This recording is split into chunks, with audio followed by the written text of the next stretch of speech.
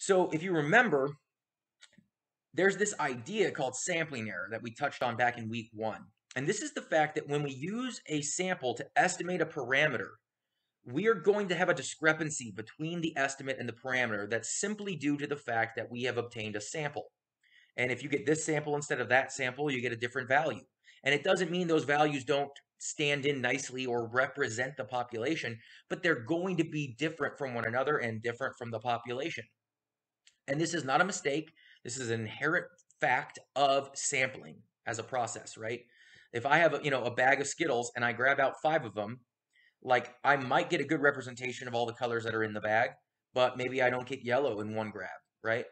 So the next time I might get three yellows. And so these differences aren't because I'm not sampling at random from the same bag, right? It's the same population, the same bag of Skittles. I'm just going in and grabbing them out. But the fact that I got this sample versus that sample, I get different estimates of like what are the proportions of the colors in the bag, right? So this happens. So this is why we need to then know something about the sampling distribution to know whether or not a sample statistic is meaningfully different from what we would expect, right? And in that context, meaningfully different it goes back to what we've learned about the concepts of how many standard deviations do scores need to be away, right? Normally we use that cut point of kind of like two standard deviations. And it's really rooted in the p value that's obtained, which we'll talk about more in the next lecture. So here, I really need to know how much discrepancy can I expect between samples, right, in my distribution. It's not enough to know what's the center of my distribution, what's the expected value, right? We also need to know about the variability of the distribution, right? Because we know sampling error is a thing. So the central limit theorem gives us some information that's really useful here to know about the central value, central tendency, and the variability or measures of dispersion that would characterize the sampling distribution of the mean. So the central limit theorem states that given a population with some mean, mu, and some variance, sigma squared, the sampling distribution of the mean will have a mean of mu sub x bar equal to mu, and a variance equal to sigma squared over n, and a standard deviation equal to sigma divided by the square root of n. The distribution will approach the normal distribution as n increases. All right, let's take this snip by snip here. So one, population with a mean and variance. All right, so that's direct enough, right? We It's a population, so we describe the values with Greek letters mu and sigma squared. Okay, so the sampling distribution of the mean is now this distribution we're making of the mean for all possible samples of the same size from this population, right? So if I'm talking about my group of 30 taking size 3, I've got 27,000 means right, that describe each of those samples of size 3 that I could put into this distribution, okay? So that distribution will now have a mean that is the mean of means, mu sub x bar. Remember, subscripts are like name tags. So they identify to whom some value belongs. So here, this mean is the mean of sample means, right? So I got 27,000 sample means, and now I get the average of all those averages. That's mu sub x bar. Okay. That value will equal the population mean. How cool is that, right? The variance of the distribution will equal the population variance divided by n. Why does that matter here? Well, because the number that you have in each of your samples. So if I have samples of size 3, I can have a more variable distribution than if I have samples of size 300. And so this affects how compact your distribution is going to be. So when you have a variance and you divide it by n, the bigger n is, the smaller the quotient is going to be. All right. Okay, so the bigger your sample size is, the tighter your distributions are going to end up being. Now, the standard deviation then is just square root that whole thing. So we can take sigma and take it out of the square root, right? Because the square root of sigma squared is sigma. So sigma divided by square root n is the standard deviation of the sampling distribution. And in fact, that's so important, it gets its own name. And the name is the standard error, or more specifically here, the standard error of the mean, because that's the statistic it describes. So standard errors are standard deviations of a statistic. Okay?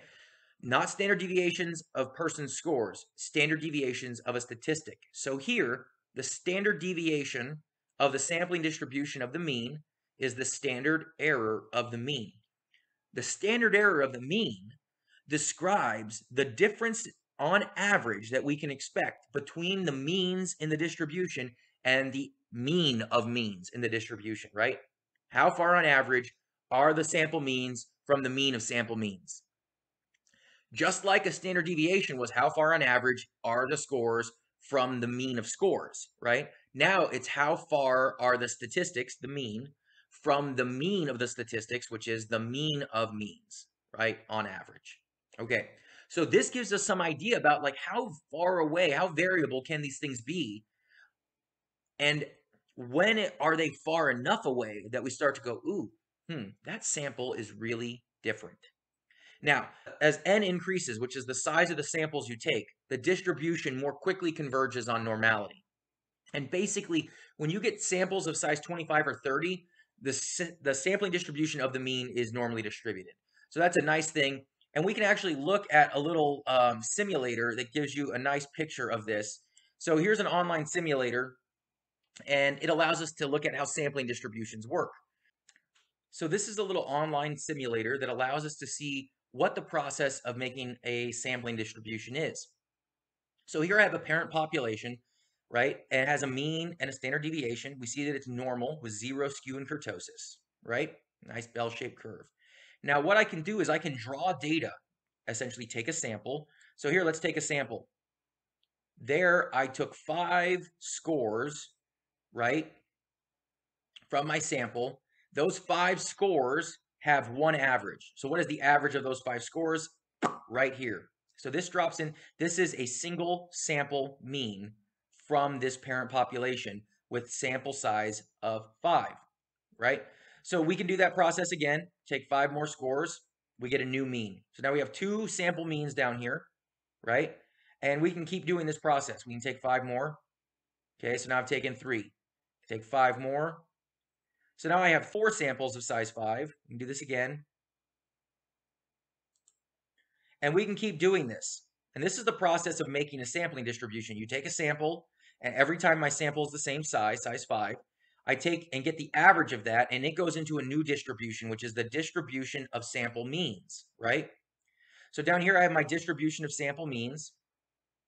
And we could say, take this a little faster. So now I just took five more, five more, five more, five more. So now here we go, keep taking samples. Here I've taken 102 samples of size 5. And we see that as we're doing this, this distribution is looking a little more normal, right? This is still got, this is a little kurtotic, right? It's a little too peaked. We, we see that it doesn't have the nice hill feel. It's kind of like a steep climb, right? But as you keep doing this, this distribution is going to approximate normal, right, as we take a greater number here of samples. Now, in the real world with sampling distributions, remember, the number of samples you take, the number of samples you take, all possible samples of the same size. So you would take as many possible samples of five as you can. So the variable piece is not how many samples you take, but the size of the samples you take. So let's say that we take a different size of sample. Let's say we take samples of size 25. Okay, so now I've got to take 25 scores from my population before I get one sample mean. There was 25 scores. There's my one mean.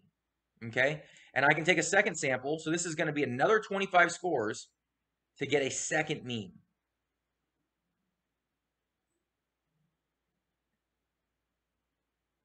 So now I've taken two samples of size 25, right?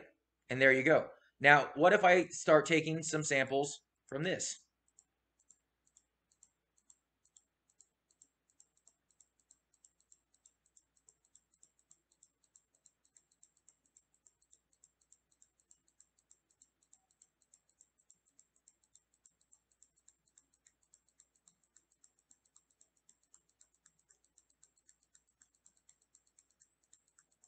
You see how tightly these scores remain in the distribution? these scores remain very tight in the distribution, right? And so when you're getting samples the size 25, you're staying really close to the actual population mean, right? Now, we're not exactly on the mean. If we took the, you know, theoretical sampling distribution, all possible samples of size n, the mean would equal the mean of the parent population. And the standard deviation would equal the standard deviation divided by the square root of n. So 5 divided by the square root of 25, which is 5. 5 divided by 5 would be 1, right? So we see that these numbers are getting really close to, in fact, what we would expect theoretically, right? And if, as we keep going, so there we go, I added 10,000 more draws, and look at this, 16.01, 1.01. So see how, what we define theoretically using the central limit theorem, that says the sampling distribution of the mean has a mean equal to the parent population mean and a standard deviation equal to the standard deviation of the parent population divided by the square root of n. And we see that exact process here happening, right? And we see that when we draw the samples, that this distribution becomes one, it's very tight. There's very little variability in the distribution of sample means. There's much more variability in the parent population. Why? Because these are individuals. So you have some individuals who are extreme. But when I take samples of size 25, extreme individuals wash out right? So say that I'm taking average heights. If if I just get 100 people and plot their heights, some person might be six foot seven, and that, that's going to be an extreme score in my distribution. My distribution is going to look very variable. But if I take 25 people and get their average height, those averages are all going to be much closer to the average human height because you have one tall person and one small person and a bunch of medium people and it all averages out, right? So when you get these averages, those extreme differences wash out more. Okay. And so this is one of those things that the sampling distribution is going to be much tighter, right? Much less variable than the distribution of the population. Now, the other nice thing is, even if your parent population is not normally distributed, so if we mess this up and make it look different, right?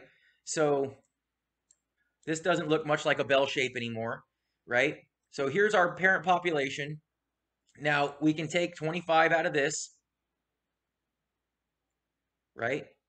And we're doing the same process here, taking 25 cases out of the population, and that'll make one mean. Now, what if we do 10,000 of these? Look at this.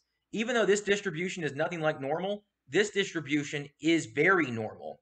And we see that the mean of the sampling distribution equals the mean of the population distribution still. And we see that if we took this standard deviation divided by the square root of 25, 5.6 divided by 5, that is still appropriately estimated here by the standard deviation of the sampling distribution, which is the standard error of the mean. Okay, so the nice thing here about the sampling distribution is we know what to expect. And so we can map these things out very closely uh, without having to take all possible samples of size n because we know what to expect. We know the long-term expectations of the sampling distribution of the mean. So